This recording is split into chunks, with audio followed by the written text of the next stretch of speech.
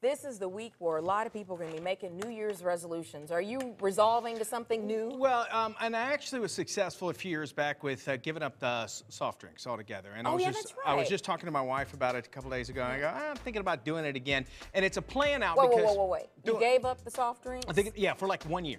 oh, that's it. yeah. Okay. I thought forever. Okay. But, no.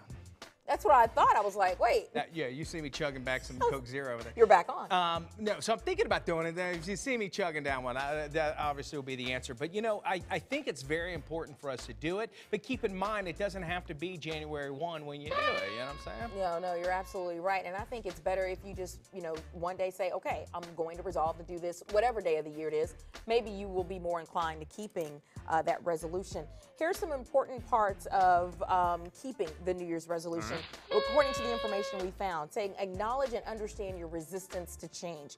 Basically, figure out what are your issues, what's holding you back from keeping the resolution, and then working with Oh, I- that. this is actually Hitler's plan. I didn't know if you knew that. Uh, I re- resistance to change? Anyway, I was like, where are we going with this? Ain't going nowhere. And, and I think that's part of the reason why people give up because they haven't figured out why they need to change that in the first place. Yeah, the you- root of the issue. You could see, and there's always residual, uh, you know, um, outcome out of all of these. Mm-hmm. No matter what, you know. Let's say if I'm soft drinks, I know I'm going to have a healthier life. I might spend less money, and, and so there is a whole lot of other things that are accompany uh, uh, that will encompass what, what you're going to do. and I guess uh, realistic also is a huge part, right? Right, and that's exactly what it is. You have to look at that goal.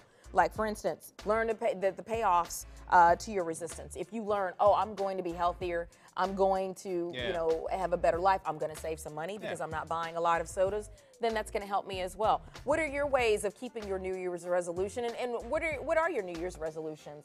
Uh, let us know. That's our HeadDrama question of the day. Dish your drama. DailyBuzzNow.com.